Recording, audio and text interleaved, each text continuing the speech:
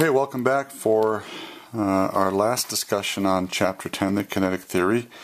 Um, this hopefully will be a bit uh, more of an abbreviated discussion than our previous three. We have a little bit of vocabulary to take care of today, and then we actually get to do some quantitative analysis. We get to do some math today uh, related to changes of phase. So, first, let's define uh, the enthalpy of fusion. Enthalpy is also known as the heat of fusion. So the definition of this is the quantity of heat or energy, uh, and that will be measured today in joules. That's going to be our SI unit for energy or heat. So the quantity of heat required, so this is an endothermic process to change a solid to a liquid at its melting point. So once you reach the melting point, those solid particles need to be need to gain energy to be pulled away from those liquid uh, from each other, so they can slide past each other and become a liquid. Now, the quantity of energy required to do that at the melting point is known as the enthalpy of fusion, abbreviated delta H sub FUS. Okay, now the enthalpy or heat of vaporization is similar. It's the quantity of heat. Once again, in joules, our SI unit for heat, required to change a liquid to a gas. And this would be at its boiling point. So, liquid particles are still somewhat attracted to each other, and we need to, uh, to add enough energy to turn those liquid particles, which are attracted to each other, into gaseous particles, which have no attractive forces for each other. And that requires energy. The energy required to do that is called the enthalpy of vaporization, or delta H sub VAP. Let's take a look at this graph. Uh, this is for water, and we're going to start out at negative 25 degrees Celsius. Now we know that water at negative 25 degrees Celsius is a solid. So we're going to add some heat. So let's pretend we have a beaker of ice. Uh, and we place it on a ring stand and we add, put a Bunsen burner underneath it and we're able to measure the heat that we add to that ice at negative 25. And to no one's surprise, as we add heat, the temperature rises. But then here at point B, the temperature stops rising, even though we're adding heat. Hmm, I wonder what's happening there. Well, for water, it's at 0 degrees Celsius when this happens. We are changing phase. This energy from here to here is the heat of fusion. The energy required to melt that substance at its melting point. We're changing the phase from a solid to a liquid here. Now, once all the liquid particles have changed phase, excuse me, once all the solid particles have changed phase into a liquid, now any additional energy that we had goes into raising the temperature. So right here, we have the liquid phase. And that temperature continues to increase as we add more and more heat. And then at point D, you'll notice the temperature stops increasing again and we have a nice steady temperature as we are adding more and more heat until we get to point E. Well, what do you think is happening here? We're adding heat, but the temperature stays at 100 degrees Celsius. Once again, we're changing phase. This energy here, from here to here, is called our heat of vaporization. So we're taking those liquid particles and adding energy to separate them into gas particles. Notice that the heat of vaporization for a substance is much larger than its heat of fusion. Then, once we reach point E, the energy that we add raises the temperature of the vapor. So right here, we have a gas. Now, when a substance is at its melting or boiling point, notice that adding more heat does not change the temperature until all of it is either melted or boiled. Then the temperature will begin to rise. So let's take a look at a couple of problems here. The first one, um, how much heat is needed to raise the temperature of 100 grams of tin from 20 to 80 Celsius? Now there's no phase change here. We're simply taking the metal from 20, a little bit below room temperature, to 80 Celsius. Now we're going to use a concept called specific heat. Specific heat by definition is the amount of heat needed to raise the temperature of 1 gram of something, in this case tin, by 1 degree Celsius. And we can look these values up in a handbook or in our case in the index in the back of our book. Appendix, excuse me, in the back of our book. So we have 100 grams of tin, that's the mass of tin, times, this is the specific heat of tin, SH, or often it's symbolized by the letter C. And then 80 minus 20 is my delta T. The temperature goes from 20 to 80. So we just want to find the change in temperature here. So it's going to be the difference between the high and the low in this case. So this will equal the energy required for that process. Now the symbol for that is Q. So we have Q equals M times C times delta T. Sometimes these are referred to as MCAT problems. So when we multiply that out and round off to three significant figures. I end up with 1.32 times 10 to the third joules, or 1.32 kilojoules. Now, I showed you that because there was no change in phase, no change in state. It started as a solid, ended up as a solid in this temperature range. But what if a change of state or phase is involved? Let's take our example with water.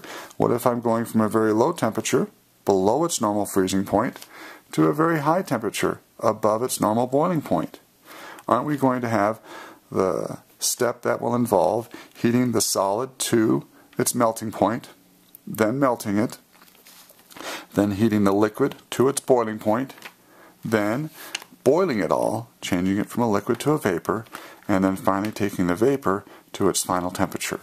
We would have one, two, three, four, up to five steps involved in this process if we're going from a temperature below the freezing point to above the boiling point. So that's what this example is on the last page of your notes for this chapter we are going to take 25 grams of ice and we're going to heat it from negative 55 Celsius to steam at 225. Now, of course, ice, water, at negative 55 is a solid. We are going to turn it into, at the end, a gas. Well, in between, we're going to end up with a liquid. So we're going to have the heat of fusion that we're going to have to add to this process, as well as the heat of vaporization. So there are going to be five steps to this problem. First of all, let's heat the ice to its melting point. So we're going to go from negative 55 degrees Celsius to, what's the normal melting point of water? 0 degrees Celsius. So we have 25 degrees Celsius, that's our mass, times the specific heat of ice, 2.06 joules, needed to raise the temperature of 1 gram of that substance by 1 degree Celsius, times my temperature change. Now I'm going from negative 55 to 0. Isn't my temperature change 55 degrees Celsius? Now I've done the math previous to this, and I actually rounded this off to 3 sig figs. I'm going to cheat a little bit and say that that's, well, 55.0. I'm going to give myself three significant figures in that calculation. Now, I have my ice at its melting point. What do I need to do to it next? Well, I need to melt it.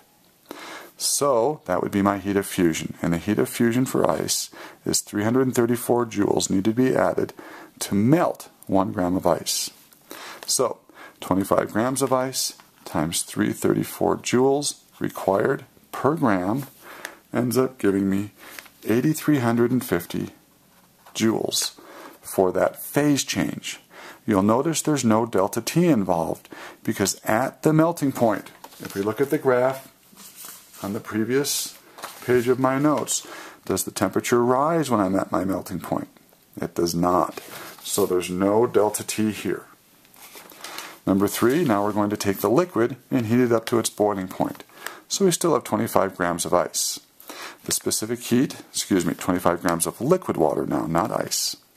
So the specific heat is 4.18 joules needed to raise the temperature of 1 gram of liquid water by 1 degree Celsius and it's at 0 degrees Celsius, and we're taking it to its boiling point, which is 100.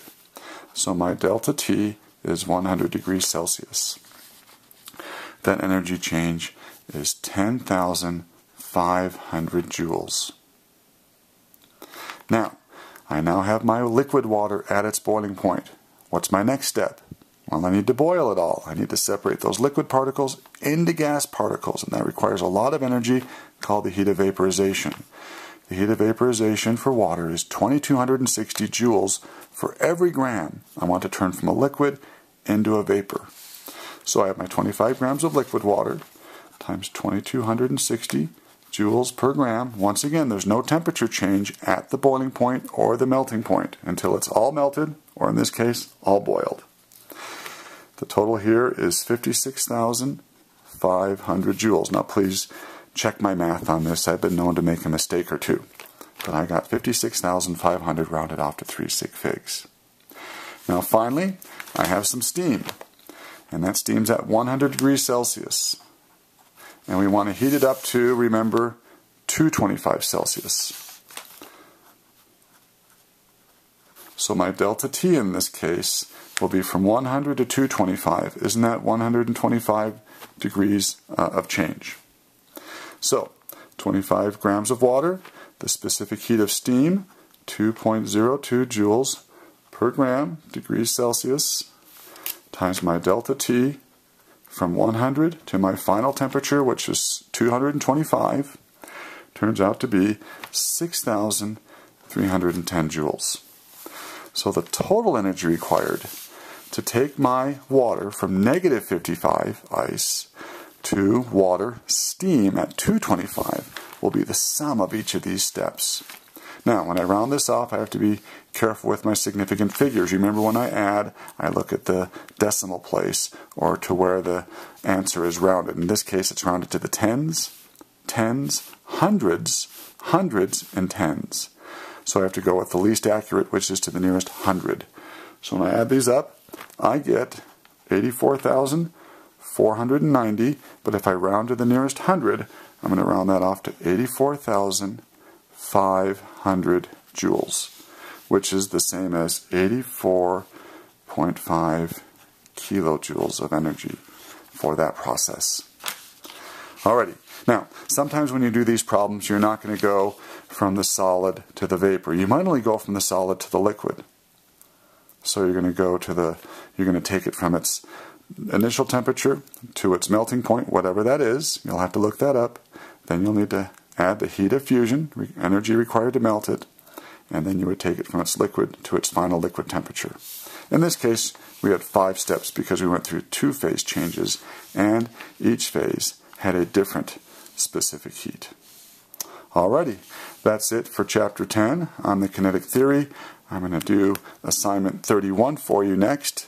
Um, I'll help you through a few of the problems. So thank you. Um, stay tuned. We'll be coming up with additional video lectures um, soon.